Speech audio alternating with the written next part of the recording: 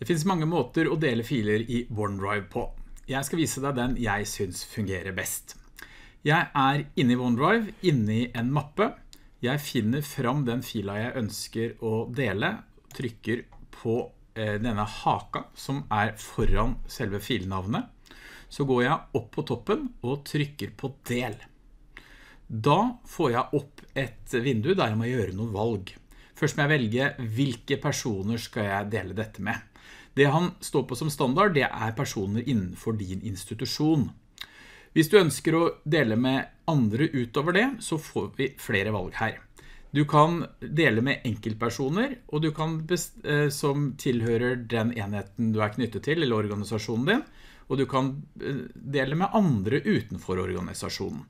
Det jeg pleier å bruke, det er alle. Da har alle tilgang til denne delingslinken som jeg skal lage nå. Hver til sitt bruk selvfølgelig. Eh, og da kommer spørsmålet opp, eh, skal jeg la de som får delingslenken få lov til å redigere innholdet mitt, eller skal de ikke få lov til det? I mitt tilfelle nå så skal jeg dele en PowerPoint, der jeg vil at elevene mine skal kunne se PowerPointen, men ikke redigere i den. Da tar jeg vekk denne haka tillatt redigering. Så kan man sette en utløpsdato på hvor lenge man skal få tilgang til dette her. Det velger jeg nå ikke å bruke så da trykker jeg på bruk for å aktivere deling.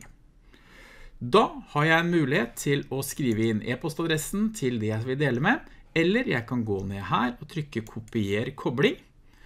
Da trykker jeg på kopier, og da har jeg kopiert ut eh, linken til denne delte filen, og så kan jeg sende den på en eller annen form til de jeg ønsker å dele med. Til slutt et tips. Hvis du samarbeider med en gruppe mennesker, ta gjerne da og del en hel mappe i stedet for å del enkeltfiler. Da blir det fort veldig rotete. Og til aller sist så anbefaler jeg deg å gå inn og lage egen mappe som heter delt. Fordi at det er veldig lett å miste oversikten. Titt for eksempel her inne hos meg nå. Her ser vi borte til høyre at det er mange delte filer, men det finns også private filer.